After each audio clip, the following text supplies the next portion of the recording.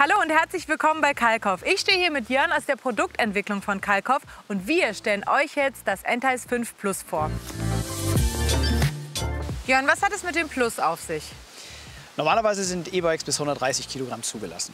Bei unserem Konzept haben wir uns für ein höheres Gewicht äh, entschieden und das bis 170 Kilogramm hochzusetzen. Das beinhaltet also, dass nicht nur der Rahmen, aber auch die Komponenten für dieses höhere Gewicht von uns ausgelegt worden sind. Ja, okay, verstehe ich. Aber kannst du das Ganze mal im Beispiel erklären?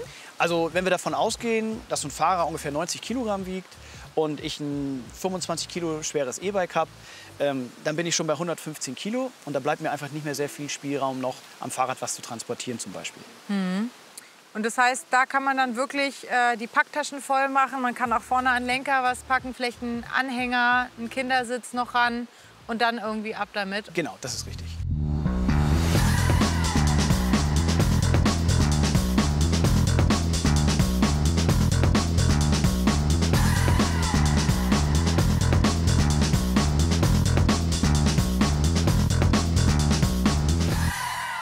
Ich habe auch gehört, äh, bei euch sind jetzt ähm, auch noch mal andere Rahmengrößen dann im Programm bei der, bei der Plus-Serie. Genau. Bei der Plus-Serie haben wir auch noch ähm, das zusätzliche Extra, dass wir den Rahmen in 63 cm anbieten. Das ist natürlich dann auch für größere Fahrer sehr gut geeignet. Was ist denn noch das Besondere beim Plus? Ähm, was hier noch besonders ist, dass wir diesen Rahmen auch in der 63 cm Höhe anbieten. Ähm, das ist natürlich extrem vorteilhaft für große Menschen, die aber dann auch schnell mehr wiegen und natürlich von diesem Konzept noch mehr profitieren. Mhm. Welche Rahmenform bietet ihr beim Entice 5 Plus an? Hier bieten wir wieder eine Trapezrahmenform, eine Diamantrahmenform und wie wir auch hier im Hintergrund sehen, äh, wieder die Wave-Modelle an.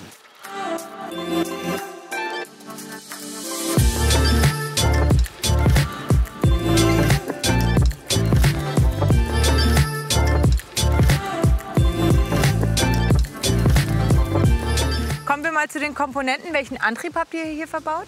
Ähm, wir verbauen hier einen Bosch CX-Motor und im Unterrohr haben wir einen 625 Wattstunden Akku verbaut. Okay.